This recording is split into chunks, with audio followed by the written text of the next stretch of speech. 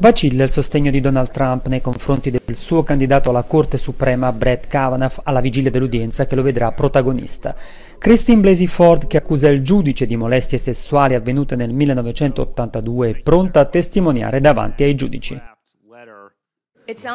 Alla domanda della giornalista che chiede se sia ipotizzabile il ritiro della nomina di Kavanaugh, il presidente statunitense risponde Se pensassi che fosse colpevole di quanto è imputato, sì, certo, ribadendo la sua speranza di poter attendere sino al chiarimento di tutte le questioni pendenti.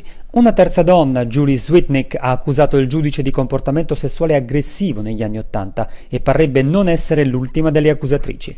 Sinora Trump aveva difeso a spada tratta il prescelto respingendo le accuse, tuttavia democratici e manifestanti chiedono che il voto della Commissione Giustizia del Senato in merito alla conferma del giudice previsto per venerdì sia ritardato finché le accuse non saranno chiarite.